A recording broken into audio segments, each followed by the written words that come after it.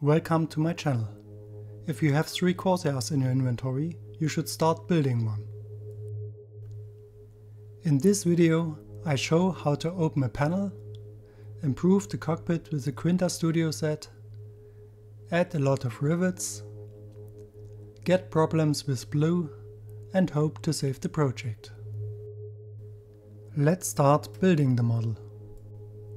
The F4U Corsair is one of my favorite warbirds.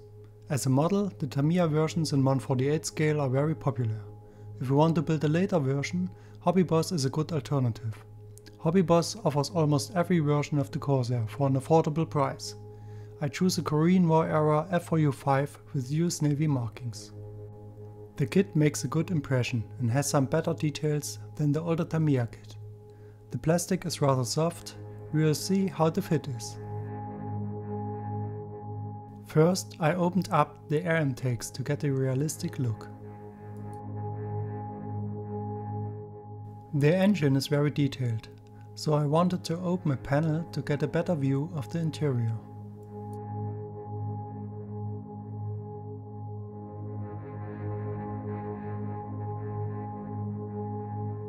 After cutting and cleaning, I used Plasticard to build the internal structure of the engine cover.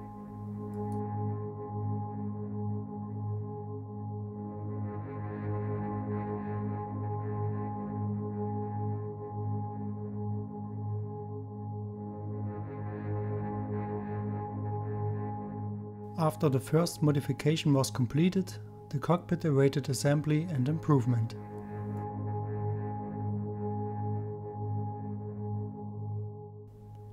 Out of the box, the cockpit parts offer good details, but I wanted to go a different route.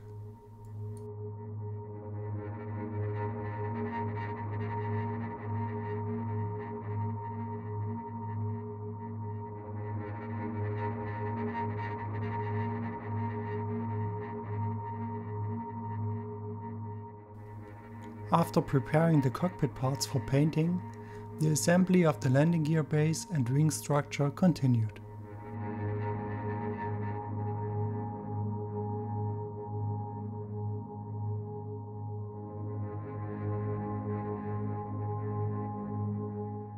The fitting of the gun cover was not good and required additional work. Not necessary Hobbyboss, especially since no guns are included in the kit. Now the first phase of painting could begin. First I primed all the metal parts black. The cockpit parts got AK Real Colors interior green directly. I later sprayed on the metal colors in thin layers.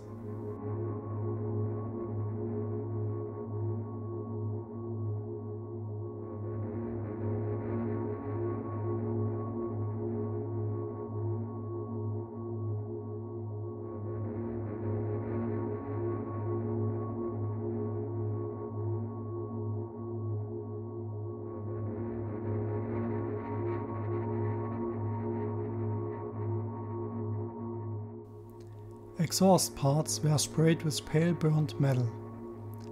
After being primed with white, the propeller got the usual yellow tips.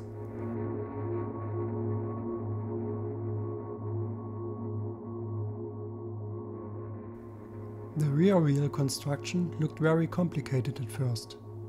Contrary to my expectations, it was easier to build than I thought.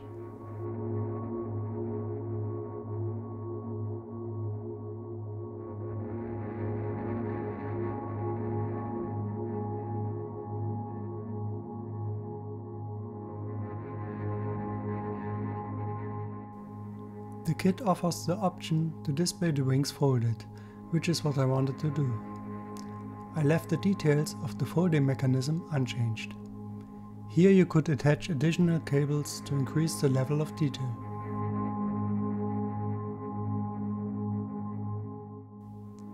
Next, I completed most of the external parts, such as flaps, wings, rudders, external fuel tanks and wheels.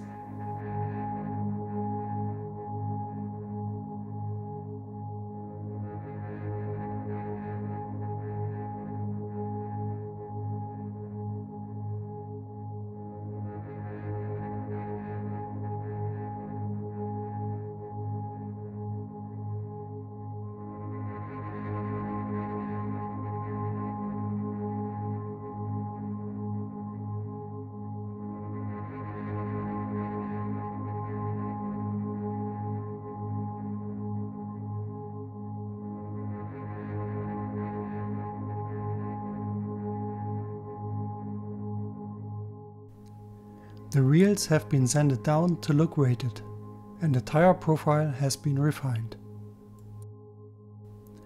There was a small mistake here. I had to remove the inner wall of the cockpit because I wanted to use 3D decals. I blame the instruction for that, right?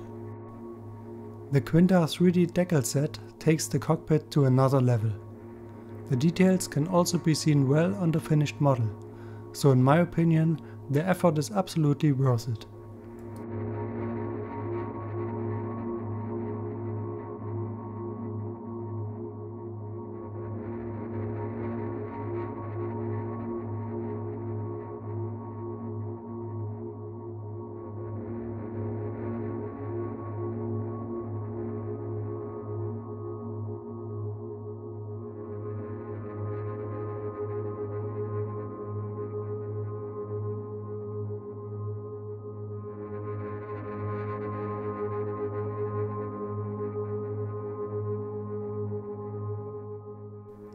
Now the engine is assembled. The details are good out of the box and can be upgraded with additional cables if required.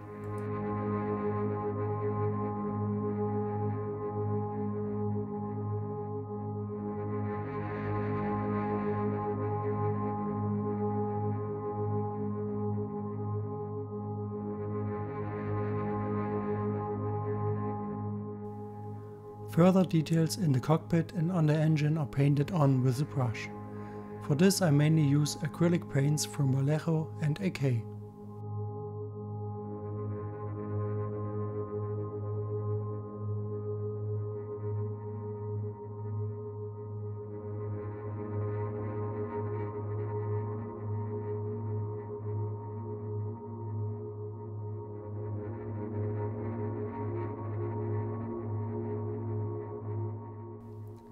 Here I start with the main color Vallejo Glossy Sea Blue, but more on that later.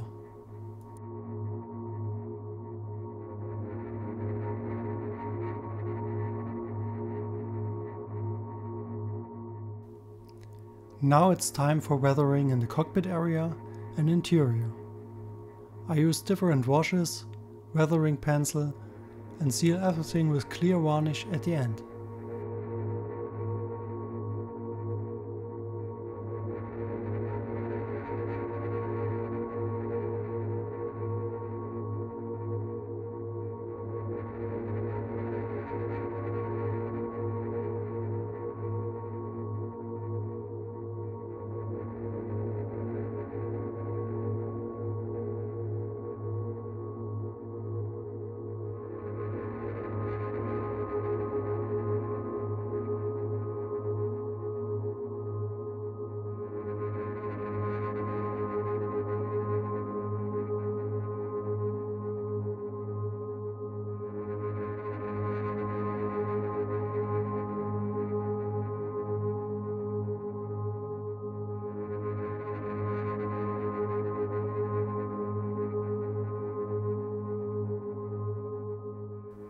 Assembling the cockpit is one of my favorite parts of the build.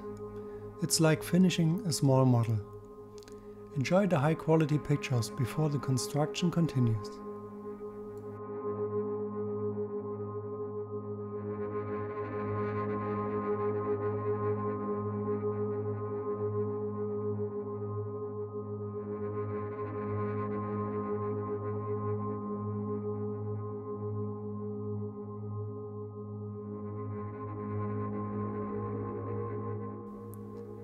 In addition to the cockpit improvements, I focused on the rivets to enhance the surface of the model.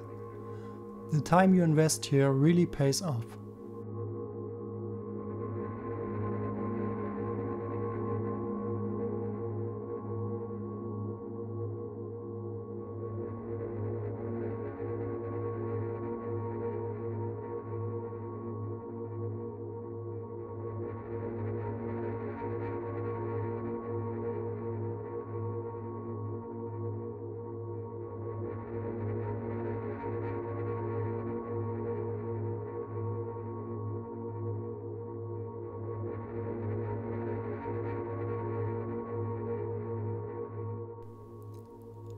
Further details will be brush painted. before the fuselage halves are assembled.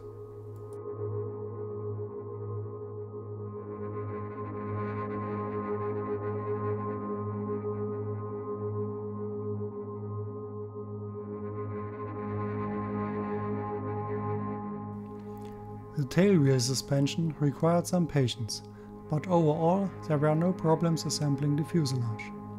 I was pleasantly surprised at how everything came together. Of course, you can't compare it with current kits from well-known manufacturers, but if you take the time and prepare the parts well, you will get a good result.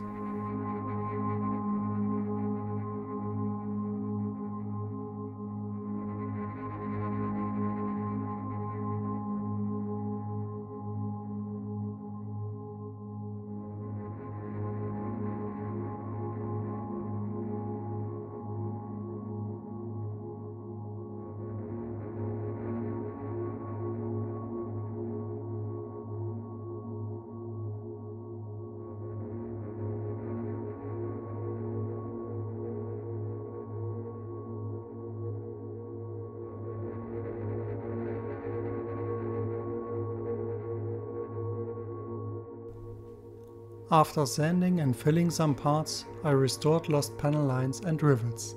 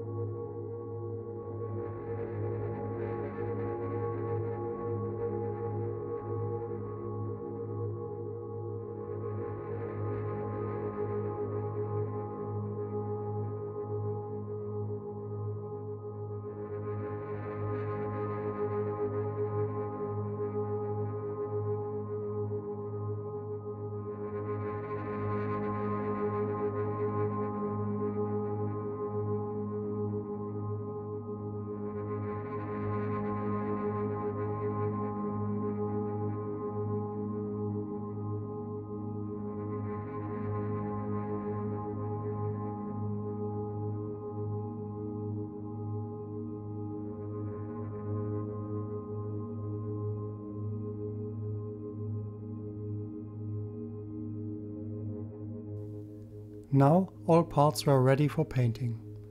After a thorough cleaning with isopropanol, I started priming.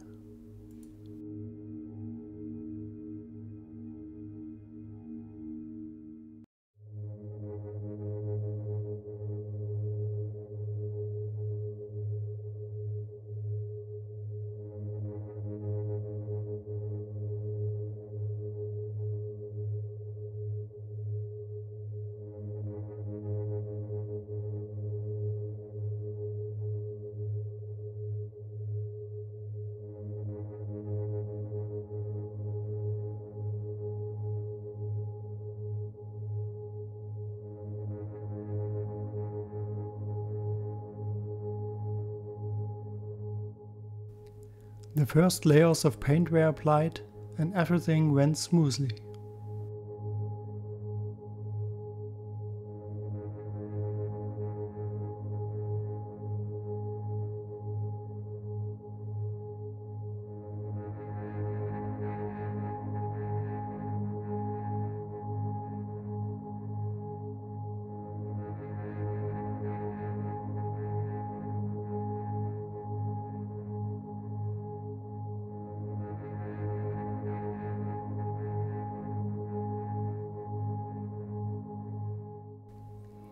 I applied Vallejo chipping fluid to all desired parts as usual. After it dried, I started spraying the other colors. Unfortunately, the result was not as expected.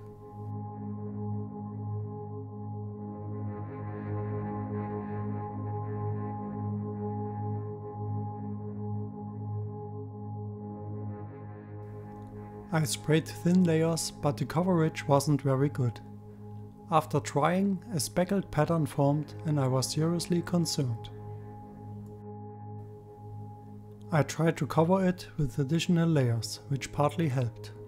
In some places I had to sand the paint. I lost some rivet details due to too much paint, but overall I was able to save the project. So far, I haven't had any problems with chipping fluid. Outside temperatures were very hot during spraying. Maybe that's one reason. I'll definitely be careful in the future.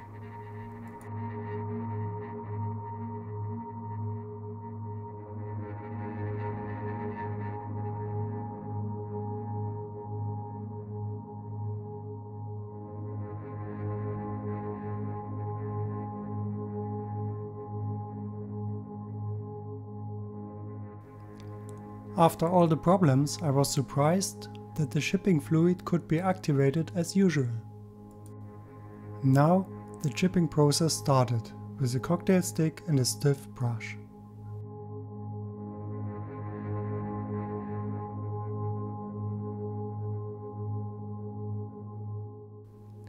The yellow primer color gives a nice contrast to the blue main color and makes the model look more interesting.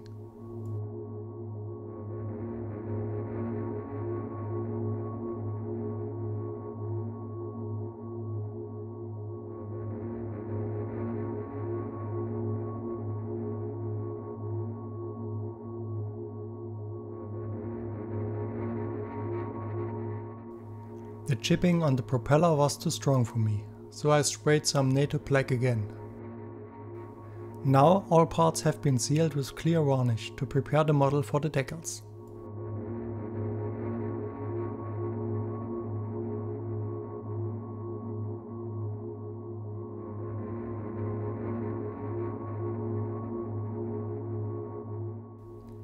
If you don't like applying decals, then Hobby Boss is perfect for you.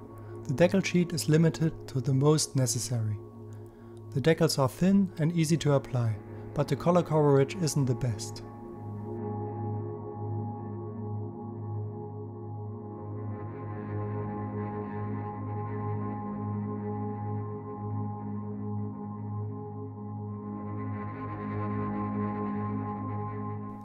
Here the anti-glare layer is sprayed. Don't forget to give them a matte clear coat at the end.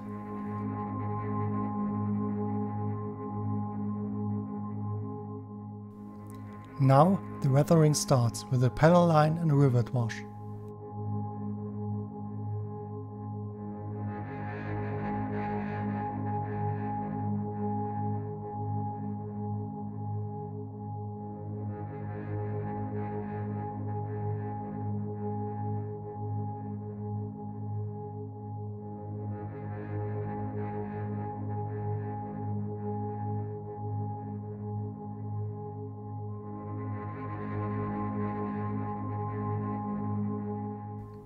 Another layer of clear coat is applied, flat this time to create a grippy base for the oil paints.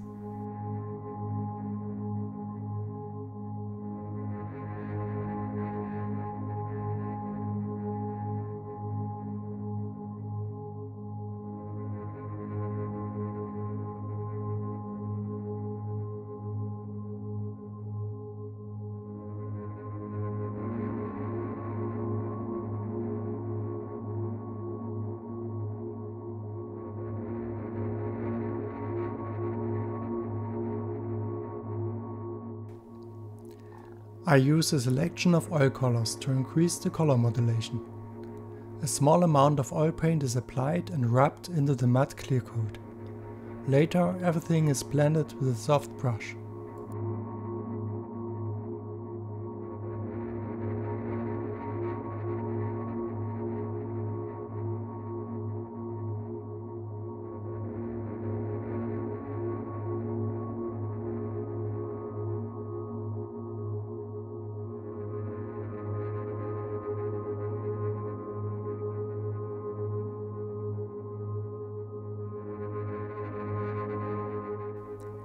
The faded blue does a good job of breaking up the dark main color.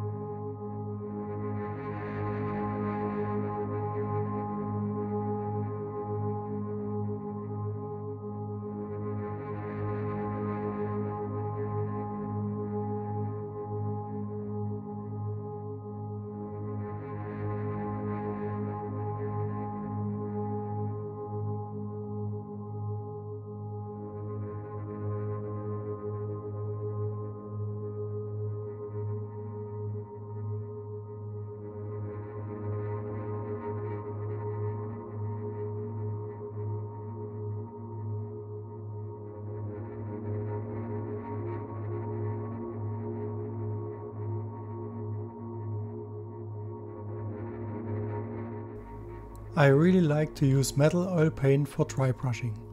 This makes it very easy to highlight details.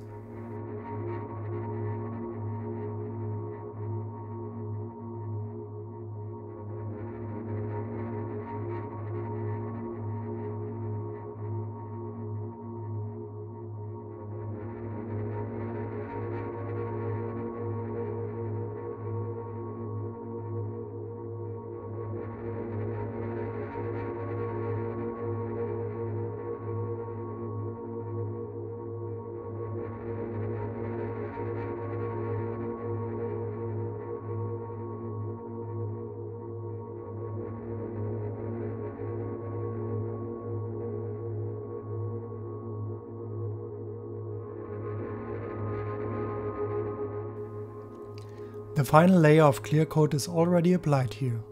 I used semi-gloss and added some flat clear coat to the areas that were too shiny.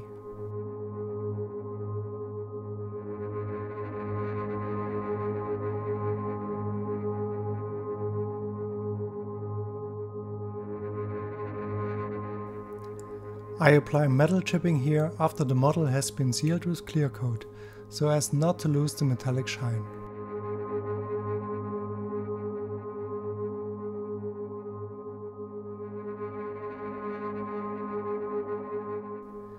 Final steps are taken and I start to complete the model.